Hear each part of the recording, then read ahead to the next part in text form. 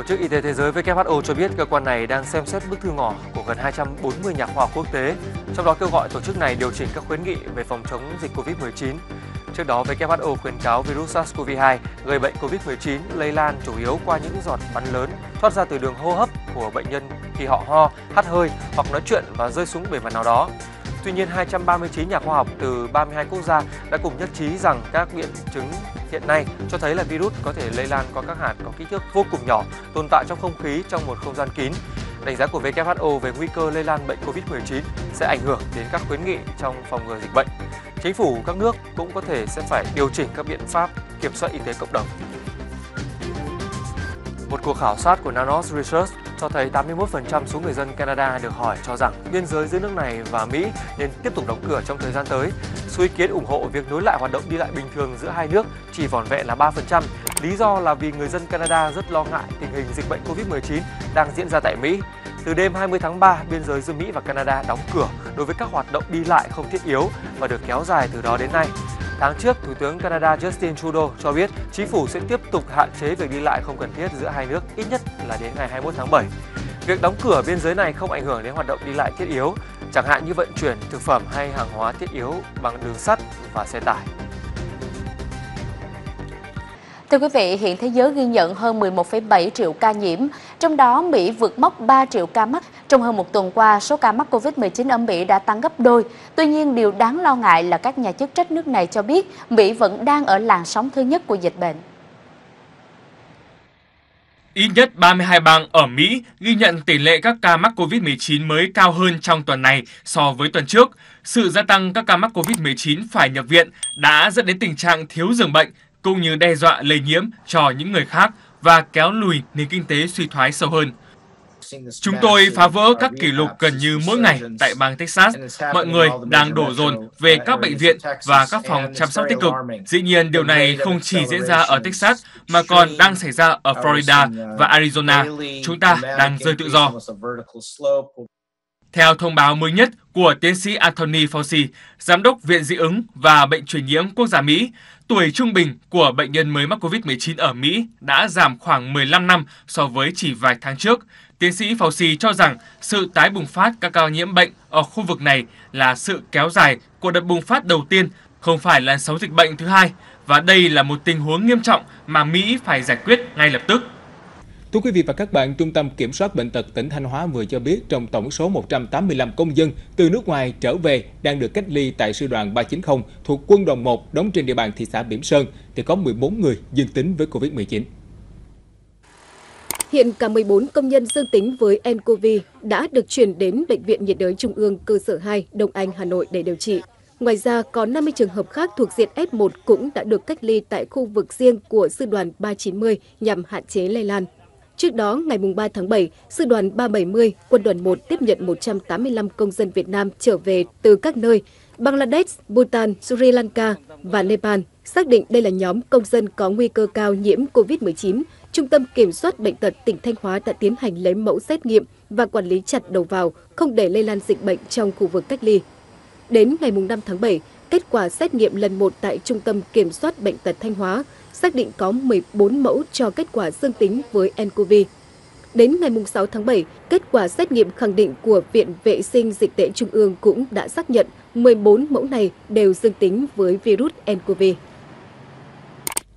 Như vậy, tính đến thời điểm này thì Việt Nam có tổng cộng là 369 ca nhiễm COVID-19, trong đó thì có tới 229 ca nhiễm nhập cảnh từ nước ngoài vào và đã được cách ly ngay. Phân tích mới nhất của Tổ chức Lao động Quốc tế ILO cho thấy tác động của COVID-19 lên thị trường lao động nghiêm trọng hơn nhiều so với các dự báo trước đây. Khả năng phục hồi trong 6 tháng cuối năm hầu như không chắc chắn, không đủ để đưa thế giới quay lại mức trước đại dịch, ngay cả với kịch bản tích cực nhất. Đại dịch toàn cầu COVID-19 đã đẩy thế giới đến nguy cơ tổn thất việc làm trên quy mô lớn chưa từng thấy. Tại Mỹ, tính đến 18 tháng 6, nền kinh tế lớn nhất thế giới đã mất gần 45,7 triệu việc làm. Tại Anh và Pháp, Tổ chức Hợp tác và Phát triển Kinh tế OEDC dự kiến có đến 15% dân số trong độ tuổi lao động bị gạt ra ngoài. Tại Tây Ban Nha, 1 phần 5 số người trong độ tuổi lao động hiện không có việc làm thị trường lao động châu Á cũng bị tàn phá nặng nề bởi đại dịch. Trung Quốc bị COVID-19 cuốn bay 30 triệu việc làm. Ở Nhật Bản, số lượng nhân viên không có việc đã tăng từ 2,5 triệu người tháng 3 lên tới 6 triệu người vào tháng 4, chiếm 8,8% lực lượng lao động của nước này. Ở Philippines, tỷ lệ thất nghiệp đã tăng gấp 3 lần trong thời gian từ tháng 1 đến tháng 4, chạm mức 17,7%. Báo cáo mới nhất của Tổ chức Lao động Quốc tế cho thấy, trong những tuần qua, tình hình diễn biến xấu đi ở nhiều khu vực. Số liệu không mấy lạc quan là tổng số giờ làm việc toàn cầu đã giảm 14% trong quý 2 năm 2020, tương đương là 400 triệu lao động toàn thời gian, giả định là lao động làm việc 48 giờ mỗi tuần. Đây là mức giảm sâu hơn nhiều so với con số dự báo là 10,7%, tương đương là 305 triệu lao động toàn thời gian, đưa ra trong báo cáo nhanh số trước công bố ngày 27 tháng 5. Dự báo, khủng hoảng việc làm hậu đại dịch COVID-19 sẽ còn tiếp tục trầm trọng. ILO khẳng định triển vọng phục hồi thị trường lao động trong 6 tháng cuối năm không chắc chắn và khó trọn vẹn, không đủ để đưa các quốc gia quay trở lại mức trước đại dịch, ngay cả với kịch bản tích cực nhất. Tuy nhiên, tổ chức này cũng cho biết kết quả trong dài hạn sẽ phụ thuộc vào diễn biến của đại dịch và lựa chọn chính sách của các chính phủ. Trước mắt, chính phủ các nước cần tiếp tục thúc đẩy các biện pháp hỗ trợ cho người lao động mất việc làm, đặc biệt là hỗ trợ các doanh nghiệp để họ không sa thải nhân viên nhằm tăng khả năng phục hồi nền kinh tế. Thưa quý vị, dịch bệnh kéo dài, doanh nghiệp không có đơn hàng đã buộc phải cắt giảm nhân sự. Trong 6 tháng đầu năm nay, thành phố Hồ Chí Minh đã có gần 328.000 lao động phải nghỉ việc, trong đó có trên 90.000 người đăng ký thất nghiệp. Nhiều người trong số này phải xoay sở đủ nghề để có thể vượt qua thời điểm khó khăn. 15 năm gắn bó với công việc, chỉ ở một nơi duy nhất là công ty Powell, anh Tuân chẳng bao giờ nghĩ rằng mình nằm trong danh sách gần 2.800 công nhân bị công ty chấm dứt hợp đồng lao động. Đi tìm công việc mới ở tuổi 33 với anh không phải dễ dàng gì. Chỗ thì mình làm được thì người ta không nhận, mà cái chỗ mà mình làm không được thì người ta nhận. Lương thì tầm khoảng 5 triệu, 6 triệu mà làm 12 tiếng. Nên cái này cũng hơi căng. May mắn hơn anh Tuân, chị Linh vẫn được công ty Powell giữ lại làm việc, nhưng công việc phải xoay tua, nghĩa là một tuần đi làm và một tuần phải nghỉ. Tất nhiên thu nhập cũng giảm đi đáng kể, trong khi mọi chi tiêu hàng ngày vẫn vậy. Khó khăn lại chồng chất khó khăn. Ví dụ trọ là cho tiền một triệu rưỡi đi ăn uống là tiết kiệm lắm là một người như em là 2 triệu rồi anh tính là khoảng 3 triệu mấy rồi 3 triệu rưỡi và chưa tính nhiều khi bệnh hoạn đau ốm nữa đó nhiều khi cái chuyện gì cũng như mình không có biết trước được xảy ra. Với nhiều người không bị công ty sa thải lúc này đã là may mắn. Đồng lương tuy ít nhưng có còn hơn không. Mọi khoản chi vì thế mà phải cắt giảm nhiều so với trước. Tại đi ca đi ca không có đi hành chánh thành ra không có tìm việc được. Tại kiếm, mình đi ca. kiếm việc đâu phải dễ đâu. Ừ, với lại giờ tìm việc khó. đi lương khuyên ba ca. Nhưng mà đã vào đây làm rồi thì cố phải cố gắng mà làm gỡ gạc để đủ ăn đỡ đỡ phải về thiếu nợ là được rồi trong gần 2.800 công nhân Powell bị ngừng việc từ tháng 7 này, có 745 người ở lại thành phố mong tìm kiếm công việc mới. Đó cũng sẽ là những cái tên nằm trong danh sách thống kê hộ nghèo của quận Bình Tân. Lần đầu tiên, địa phương này xuất hiện thực tế này. Hiện nay địa bàn Tân là không có hộ nghèo, chỉ có hộ cận nghèo thôi. Nhưng mà khả năng mất việc làm thì sẽ dẫn đến là họ sẽ rơi vào hộ nghèo. Do đó thì chúng tôi chỉ đạo cho Phòng Lao động Thương minh Xã hội, 10 phường rà soát lại những hộ mà công nhân đó, có việc làm mà có thể rớt xuống hộ nghèo để có cái chính sách giúp đỡ.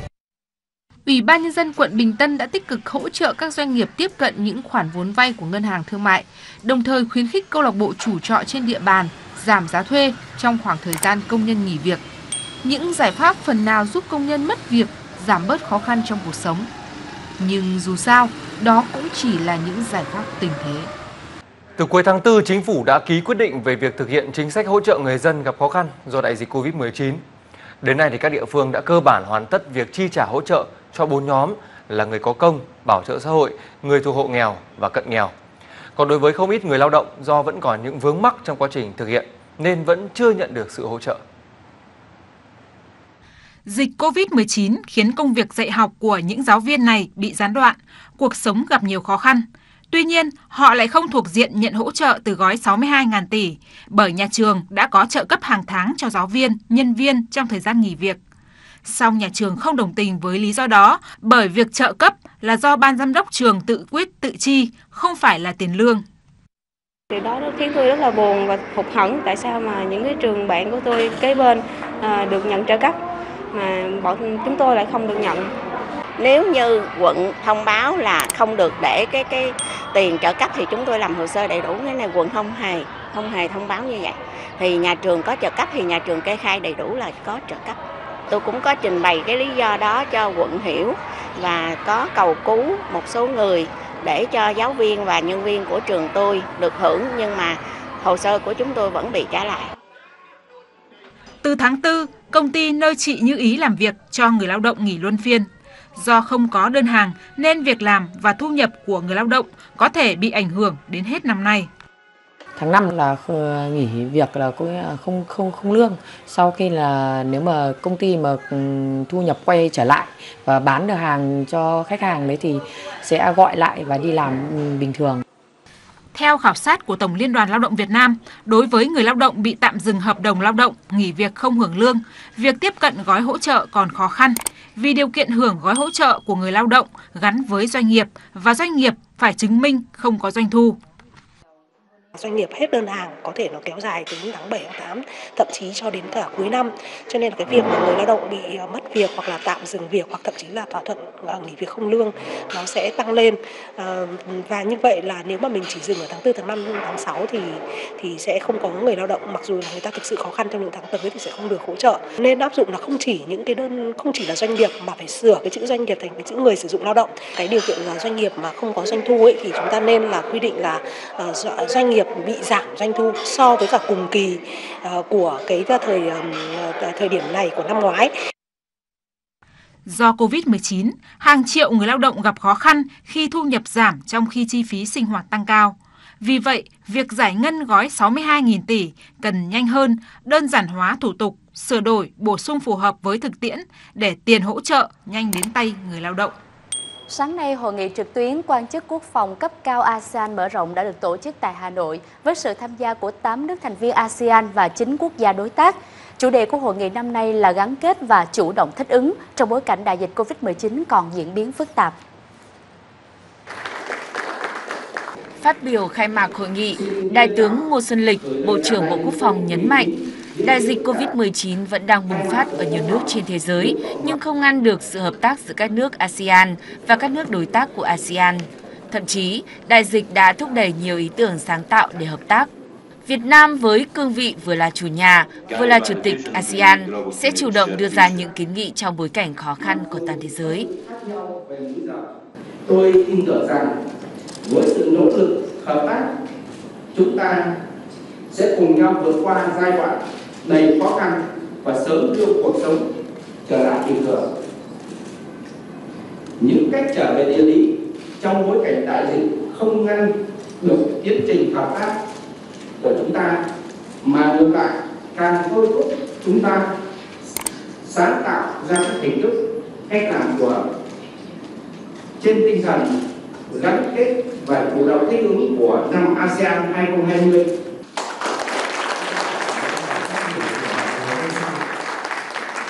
Cũng tại hội nghị, Thượng tướng Nguyễn Chí Vịnh, Thứ trưởng Bộ Quốc phòng khẳng định, hội nghị trực tuyến hôm nay sẽ không thay thế cho hội nghị Bộ trưởng Quốc phòng các nước ASEAN, dự kiến sẽ tổ chức vào cuối tháng 8 tới đây. Nếu tình hình dịch bệnh còn phức tạp, Bộ Quốc phòng Việt Nam sẽ chủ động thông báo tới các thành viên và đảm bảo tuyệt đối an toàn cho các đại biểu tham dự. Chỉ còn vài ngày nữa là Singapore sẽ bước vào cuộc tổng tuyển cử. Đây là cuộc bầu cử có 102 trong lịch sử 55 năm thành lập đảo quốc sư tử vì diễn ra trong bối cảnh đại dịch Covid-19 đang tác động nghiêm trọng tới mọi mặt của đời sống, kinh tế và xã hội. Theo đó, thì vấn đề việc làm và đại dịch là những mối quan tâm hàng đầu của cử tri Singapore. Than Si Kang, người sở hữu một cửa hàng hoa quả nhỏ ở Tây Bắc Singapore hy vọng sẽ tiếp tục nhận được các khoản trợ cấp của chính phủ, thứ đã giúp công việc kinh doanh của anh qua giai đoạn khó khăn trong vài tháng qua. Tôi hy vọng chính phủ có thể cung cấp cho chúng tôi thêm một số gói cứu trợ, gói cứu trợ cho doanh nghiệp vừa, nhỏ và siêu nhỏ. Trong khi đó, việc làm là vấn đề được nhiều người lao động mong đợi chính phủ sẽ giải quyết trong tương lai. Tôi nghĩ mối quan tâm lớn nhất của tôi cũng như nhiều người Singapore lúc này là làm sao chính phủ đảm bảo vấn đề việc làm, cũng như lộ trình phát triển trong vài năm tới. Đảng Hành động Nhân dân PAP của Thủ tướng Lý Hiển Long với cương lĩnh tranh cử tập trung nhấn mạnh yếu tố đoàn kết để cùng vượt qua cuộc khủng hoảng COVID-19 đang chiếm ưu thế. Tuy nhiên, theo giới phân tích, chặng đường phía trước của PAP sẽ không hoàn toàn bằng phẳng. Ở góc độ nào đó, người dân vẫn lo ngại về đại dịch hiện nay, vấn đề lao động nước ngoài và kiểm soát dịch tại các khu vực sinh sống của người lao động nước ngoài. Theo kế hoạch, cuộc tổng tuyển cử tại Singapore sẽ diễn ra vào ngày 10 tháng 7 và sẽ có hơn 2,65 triệu cử tri đủ tư cách tham gia bỏ phiếu bầu 93 nghị sĩ quốc hội khóa mới.